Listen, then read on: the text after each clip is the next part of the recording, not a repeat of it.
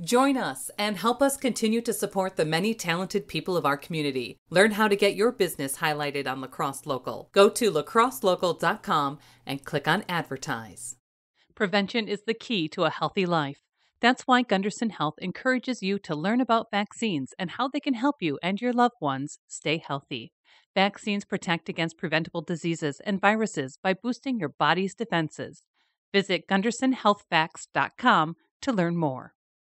Artspire is back on June 10th at the Pump House Regional Arts Center. Enjoy live music from Nicholas David, Charlie Boy, and High and Rising, plus a fine art fair, interactive art projects, and visual and performing arts. The event is free to all. Learn more at artspire.thepumphouse.org.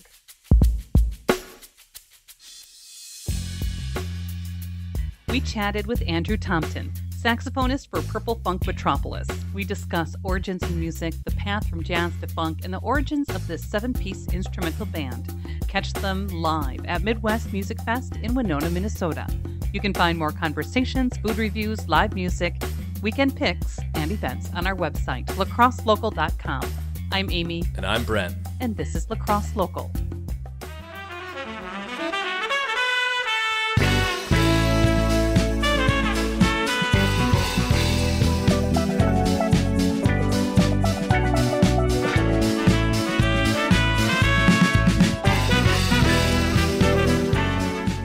Was born in Stillwater, Minnesota, and lived there my my whole life until I went to college.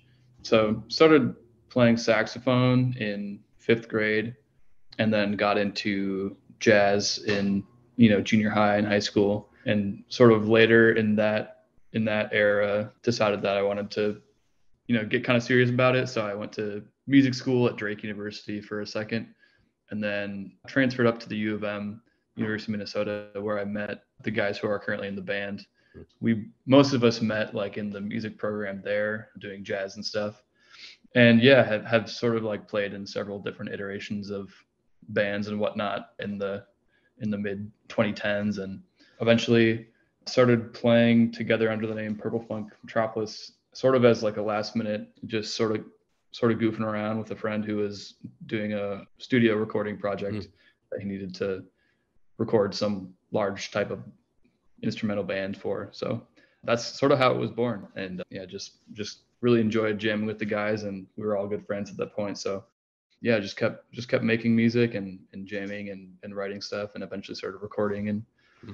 playing gigs and whatnot. So, so in those early years, you just joined band because you liked to, or was there family members? Was there music in the house that made you want to pick that up? Because I mean, your type of music is jazz, funk, seems like something that's like you're definitely a team of professional musicians coming together to pull this off. This isn't, you know, like a garage band sort of thing. Like where did that sort of influence come from? Immediate family is not particularly chock full of musicians. My siblings played instruments in high school as well. And so I, I don't know. I think me being drawn to it in in a more serious matter is kind of just a fluke. But I think I had several friends along the way who sort of like their enthusiasm for jazz and for other various types of music like were able to sort of like convince me to to really be obsessed with it in the same way that they mm. were and so it was kind of just like once we once we all met like-minded obsessed musicians who were and you know we're all into slightly different things come from more of the background of being obsessed with jazz and and mm. rock when i was slightly younger and other people have in the band have different things that they were obsessed with when they were growing up too. But I think it all it all sort of like channels into whatever instrument each person was uh, doing their thing with at the time.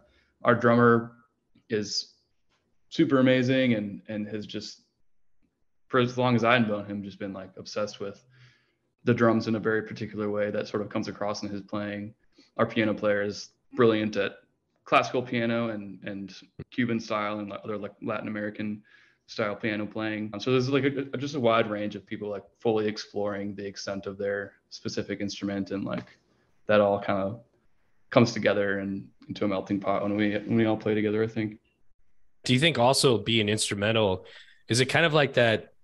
All seven members to be the front man of this band. Does that make sense at all? like yeah, you kind of tear off and have tear off and have your own sort of personalities through it.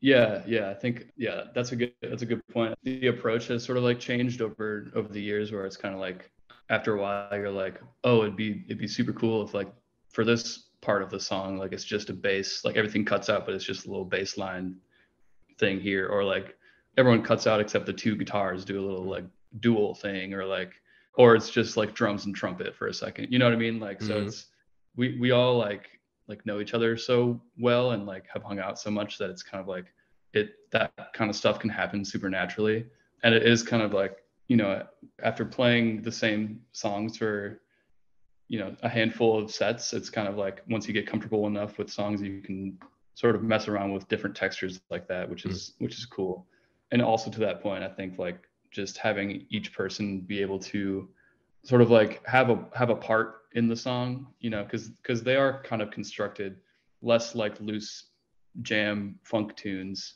mm-hmm. that are you know open and more more of like solid arrangements that are constructed like a song you know that a, a singer songwriter or a you know rock band or whatever would would craft where there's sort of a beginning middle and end but then within that framework it's it's kind of fun to like explore you know what what freedom do I have outside of this part? Like, can I sort of step out a little bit and like interact with the drummer in this little area, or like what can I do to support the soloist in this section? So it's it's kind of fun to like explore mm. within the framework of like a quote unquote song, you know, how each instrument can shine on its own in a in a particular way.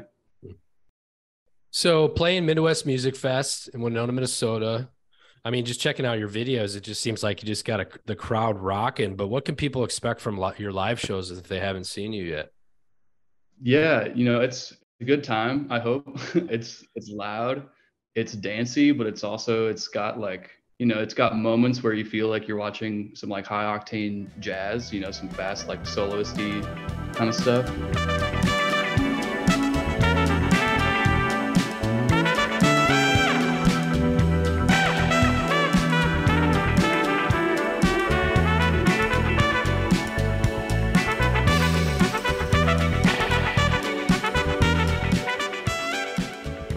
But it's also got moments where it's it's entirely devoted to like getting everyone dancing. Mm. You know, there are moments when we sort of like go crazy and just try to get like super dense and loud.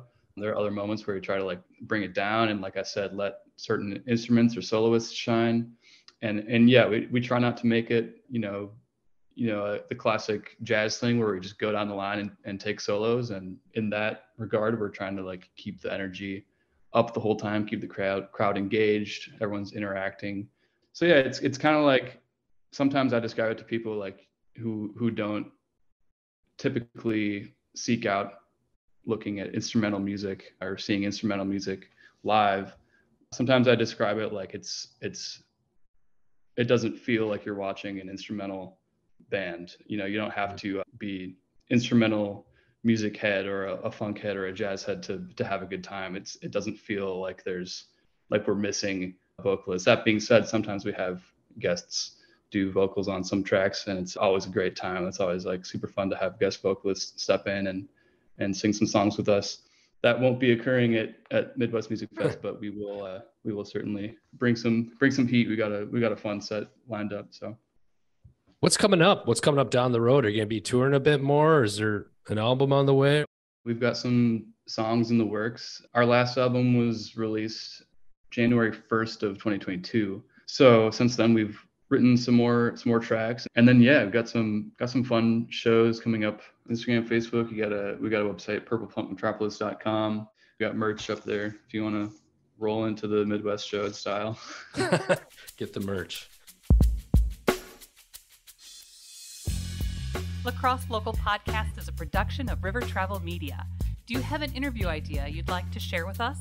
Message us on Facebook at Lacrosse Local.